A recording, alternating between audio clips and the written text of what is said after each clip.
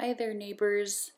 I'm wondering how many of you recognize this handsome man out there.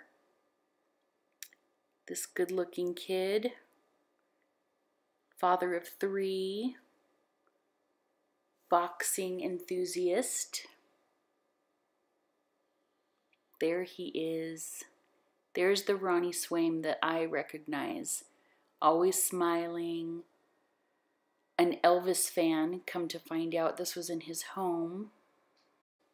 As many of you know, Ronnie actually passed away in December and he's already very dearly missed. He was such a hardworking man and the kind of guy who would give the shirt right off of his back. And one of the big loves of his life was this property in San Felipe on the south end of Warner Springs.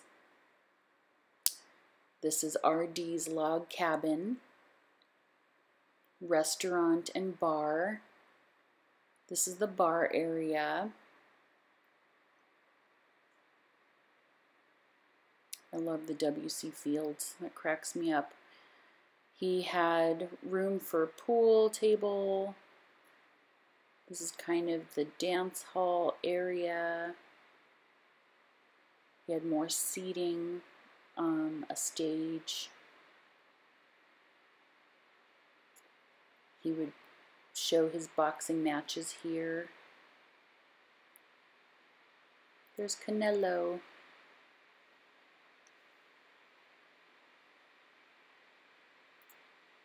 So this restaurant and bar sits on almost two acres and this is his office, Ronald Swaim and Son. I am told that a lot of young lucky cowboys were given their first jobs around Lakeside, California, thanks to Ronnie. He gave them a good education and a start at a living. This is the dining room of the restaurant and the kitchen. All the equipment is in here. Hobart dishwasher, three compartment sink.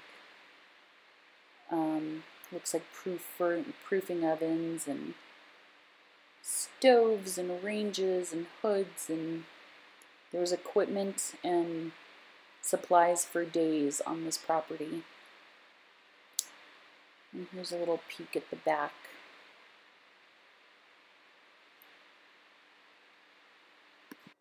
So here's our sweet Ronnie again.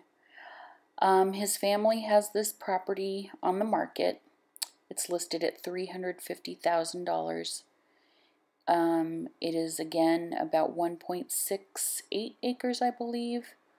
Um, it's got the bar, the restaurant, the old um, San Felipe store, which is a separate building on the property, kind of another stage amphitheater in the back. There's room for parking and camping and you name it. And there's um, the original oh, old homestead from goes back to the 20s or 30s, I believe, is on the property that could be rehabbed for potential income. And oh, and there's a five and a seven acre parcel across the street.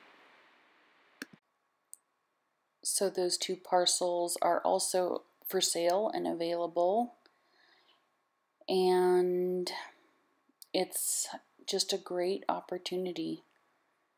It needs cleanup and some elbow grease to be sure, but it would be well, well worth it in my opinion. The setting could not be more beautiful. That's another little rental that's in the back of the property. Single wide trailer. There's that old original homestead. So Ronnie's family is hoping to find some like-minded new owner to carry on the legacy and the tra tradition here. So give us a call and come take a tour as soon as you can.